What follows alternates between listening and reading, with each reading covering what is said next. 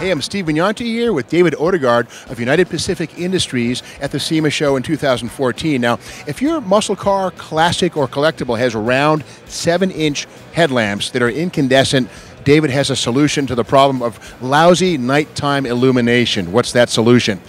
Well, Steve, we've developed a 7 inch uh, plug and play headlamp bulb.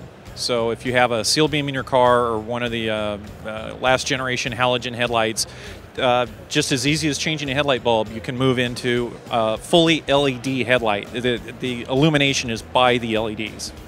I mean, it's quite easy in your SS396 Chevelle or the single headlight cars or 57 T-Bird or, or anything with single lamps to, to drive at night and actually exceed the headlight's capability. You know, it's, it's not good when you have more car than a headlamp. Now, these LED lights, are they much, much brighter than stalkers?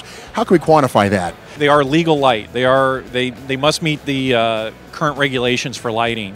But the, the light is of an intensity and a color that it can uh, find its way down the road. It, it, it gets down the road so you're not over driving your headlight, and, but it is the legal light.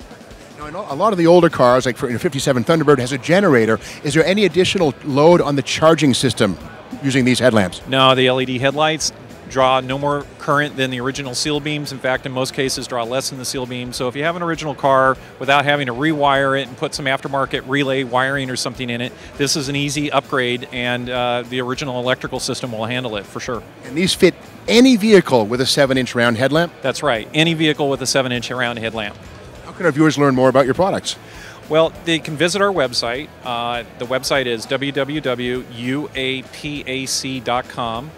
Now, where can we actually buy these new headlamps? They're available at uh, major speed shops, online catalogs, restoration shops. Well, thanks very much, United Pacific, for improving the headlamps. Out with the old, in with the LED.